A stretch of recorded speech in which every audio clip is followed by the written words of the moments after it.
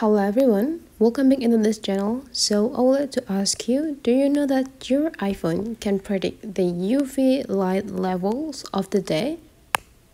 You don't know that? So yeah, your iPhone can predict the UV light level of the days. So to do that, to get the informations of the UV light from your iPhone, you just need to do these things.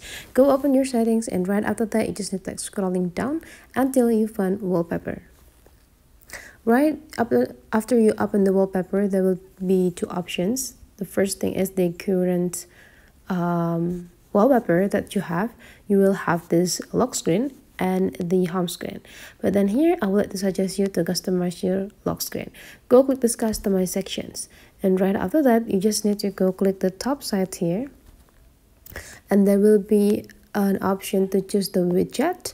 And you just need to like scrolling down after that you will see a weather options here as well as the UV index.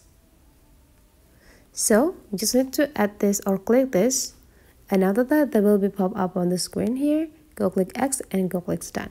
Now, if you want to check the UV index level of the day, you just need to open the lock screen of your phone. And after that, you just need to go back. So that's the way how to get the UV level informations only with iPhone. Hopefully this tutorial today is useful for you guys. So thank you for watching and I would like to see you for the next tutorial.